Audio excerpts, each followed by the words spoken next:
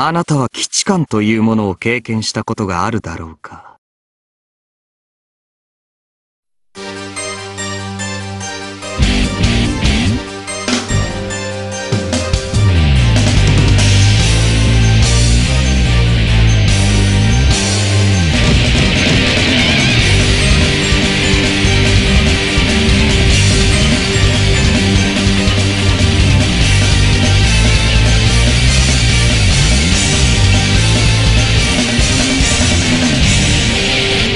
あなたこそ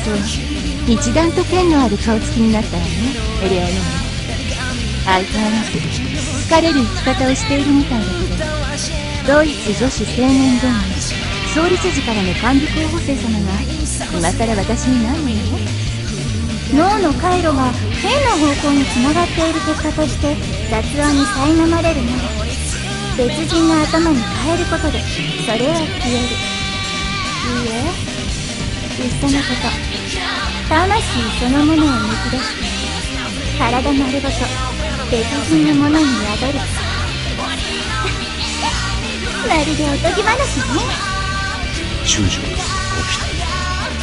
彼らの心は私には見えなかった一体何者なのでしょうかもしかしたらあの二人こそ私の苦しみを取り除いてくれる方かもしれない俺と似たような髪の色しやがってパチモン野郎おかげでいいのあって邪魔くせえから言っとけガキ僕は死なないし殺されない男でも女でもないんだから子供も産めないし腹ませないし一代で終わるってことはつまり完成してるってことなんだよだって過当な生き物ほどうんじゃうんじゃガキを産むじゃないかそれをしないってことはね僕は死なない。不死身なんだ。殺されてたまるか。いいゲーム持ってんじゃねえかバケモンが撃ち殺してやるかかってあの暴れてる二人。誰だか知りませんが危なすぎます。生意気にも一発に鼻が利くか。ならばついでに教えてやる。ああいった手合いに。銃よりもこいつだけ叩く。火突き刺して。痛みと恐怖を植え付け銃とはなきる気合いだ抜けられても存外に怖くないものなのだよ。はい。その口二度と開けぬようにしてくれるぞ。おやおや。これはこれ。ですがかつか？最後にもう一つだけこの世の黄金律の一形態にピラミッドというものがありましてその頂点は誰も横におらぬという。こと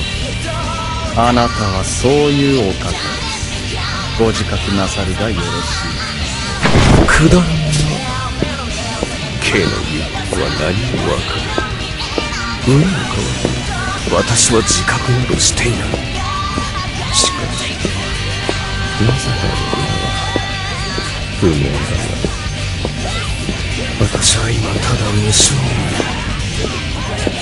この者たち。方がないのだではご随意